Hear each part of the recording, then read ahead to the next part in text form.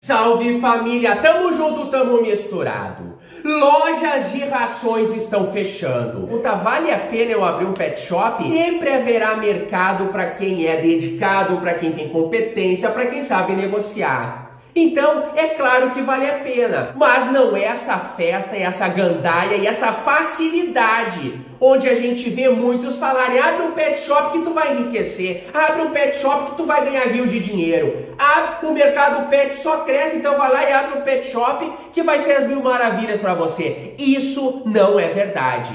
Você pode ter sucesso, pode, e se é competente e dedicado, vai ter mas não essa facilidade toda. Pronto, falei. Tá pensando em abrir um pet shop? Será que é o momento? Será que vale a pena? A gente vê muita propaganda por aí. Abra seu pet shop porque o mercado pet é o que mais cresce no mundo. O Brasil está vendendo muito em questão de ração, de produtos, de serviços pet. Será que isso tudo é verdade? Será que é um bom momento para se arriscar em abrir um pet shop?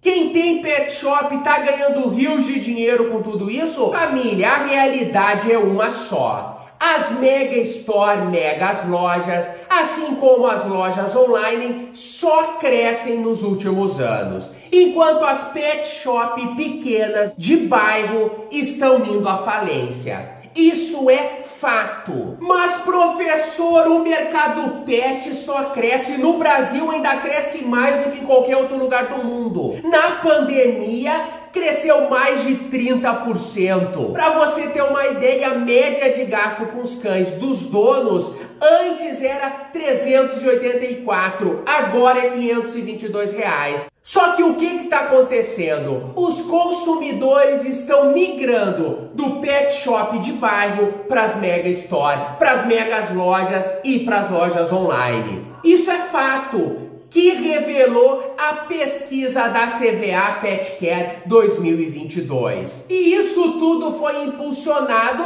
exatamente por essas mega stores, como Pets, Cobase. Para você ter uma ideia, em 2014 12% dos consumidores compravam em Mega Store. Hoje, 2020, esse número já aumentou bastante, significando 20,7%. E a tendência, pelos que os especialistas estão vendo, é que esse número aumente cada vez mais.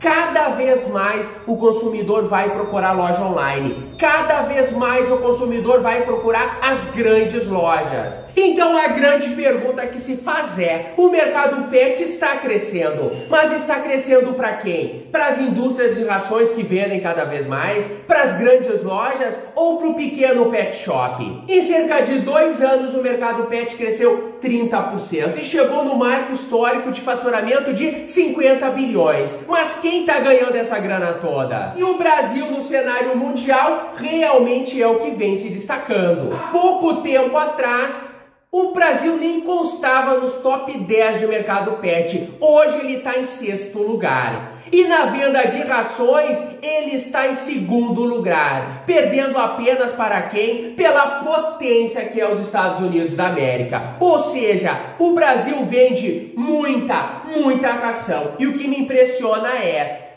a indústria não quer ganhar só na quantidade, porque está vendendo muito, quer ganhar no preço também. Tanto é que a gente vê rações aumentando demais, a ração está subindo mais do que os nossos alimentos que a gente compra para comer.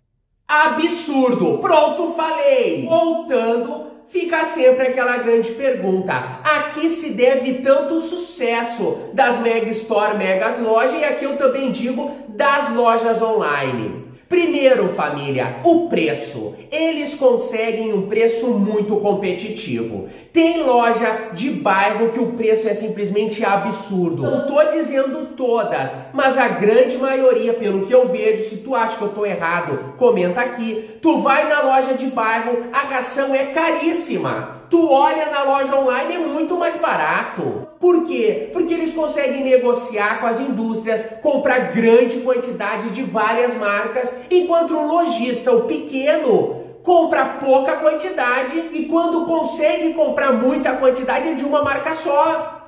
Então fica difícil para o pequeno lojista, para o pet shop de bairro realmente negociar e conseguir bons preços. O frete grátis das lojas online é outro fator que impacta. Já é mais barato e tu ainda consegue frete grátis, e o frete grátis hoje é muito diferente que antigamente. Hoje tu compra um valor pequeno em reais, tu já está conseguindo frete grátis e a comodidade de te entregarem na tua casa. E também tem alguns diferenciais. Essas Mega Store tem muita marca de ração, tem muita diversidade que às vezes a pet shop do bairro não tem. Agrega todo o serviço ali.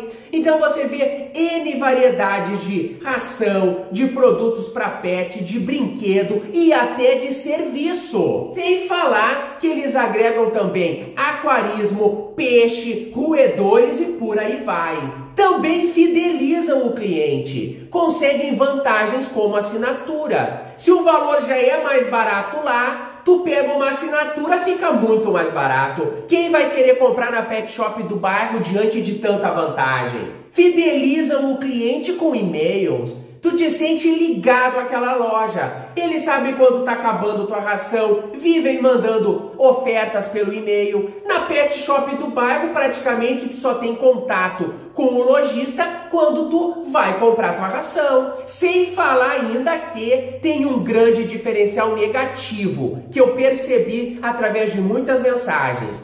O consumidor às vezes vai na pet shop do bairro e o lojista indica uma ração de má qualidade. O cliente vê, pensa que o lojista tentou passar a ração simplesmente para ele, a ração era ruim, o que, que ele faz? Não volta mais nessa casa de ração.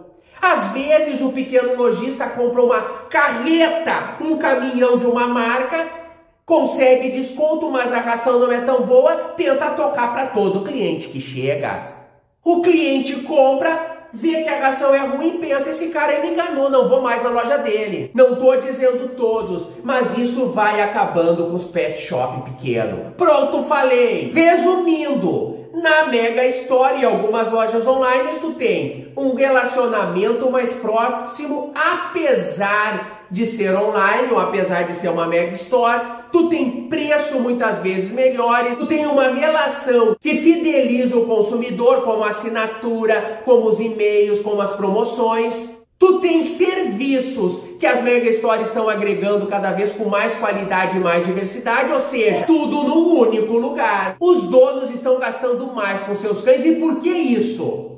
Porque agora os donos de cães, de gato, de pássaro, veem esses pets como filho. Então eles vão se dedicar mais a dar uma ração de melhor qualidade, a cuidar mais da sua higiene, da sua saúde, a comprar mais brinquedos. Porque a relação não é mais como Homem animal. Agora a coisa ficou mais íntima. Ser humano acredita que o pet é um filho, então ele vai se dedicar muito mais a ele. É ou não é verdade? Tu concorda comigo? Então, para finalizar esse vídeo, eu volto à nossa grande pergunta. O mercado pet tem crescido? Tem. Tem faturado bilhões? Tem. Mas quem está verdadeiramente faturando tudo isso? Pensa nisso antes de abrir um pet shop pequeno de bairro. Compartilha com todo mundo que está pensando em abrir um pet shop, que compra ração, que tem um pet. Deixa aquele like para a gente trazer novos vídeos para te ajudar. Te inscreve e ativa o sininho porque tem muito, muito vídeo top chegando. Tu não vai querer perder nenhum deles. E eu vou ficando aqui com o quê? Com muito cachorro, cachorro, cachorro. একশো